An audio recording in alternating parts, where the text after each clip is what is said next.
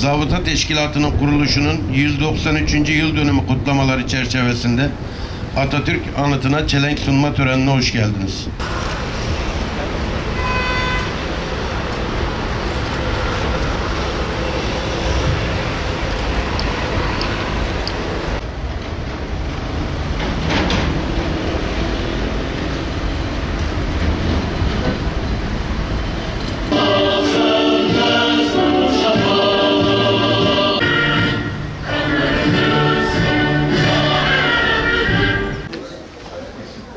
Bayramcılık mı burada nedir?